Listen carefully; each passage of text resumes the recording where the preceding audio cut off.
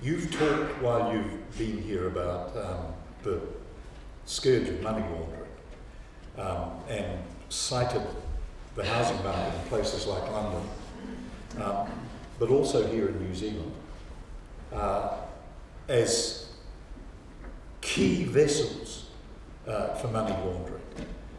How common is money laundering using the housing market in your experience? First of all, nobody steals money to put it under the bed. You know, you steal money in order to take advantage of that and enjoy it. So you need to send that money to places where you can enjoy it. And there's, this is how the money laundering schemes develop. Uh, property and luxury properties have been a preferred uh, target for the money launderers.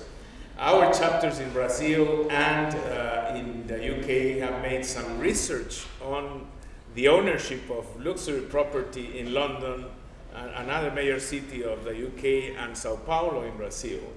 And we found that a significant amount of the owners, more than 60, 70%, depending on the place, was at the name of offshore companies with concealed identity of the real owners.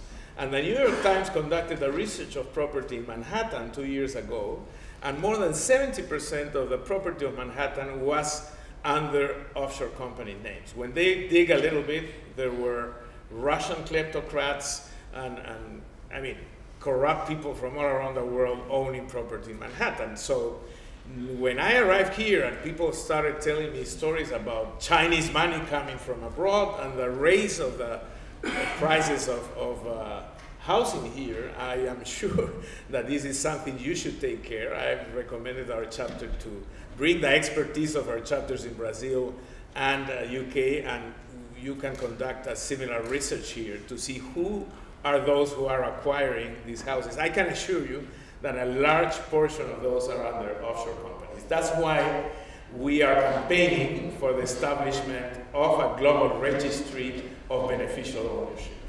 If you are not moving money from crimes, uh, if you are not involved in illicit uh, uh, criminality, there's no reason to conceal uh, uh, the real identity of the owners. And those public registries, already more than 12 countries have committed to do it.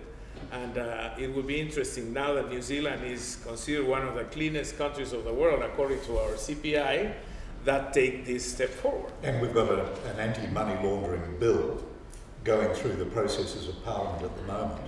Um, you'd recommend, I take it, that uh, that bill should include uh, the establishment of a central, open public registry of beneficial ownership. Absolutely. If you see what happened with the Panama Papers, only one law firm from Panama.